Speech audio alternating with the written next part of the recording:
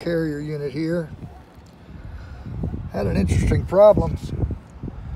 The fuse connections here.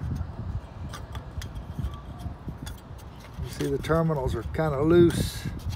The solder joints on the back side of that are no good, so it was making intermittent connection, causing the unit not to work properly. These are all the wires that came off the back side of the red.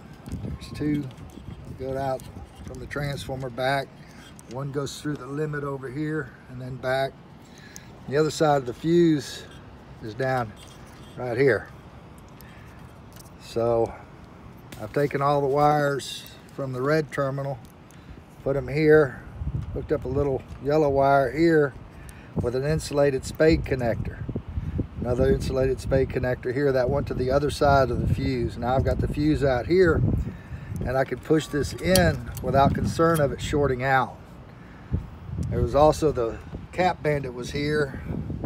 So I got the capacitor hung up back where it belongs. It was sitting in a box. Anyhow, I thought I'd show y'all this.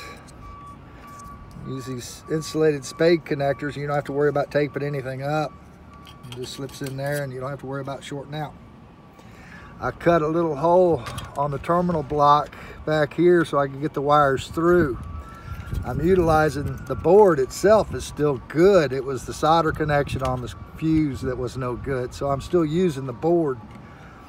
I'm just getting rid of the fuse connector here, putting it here.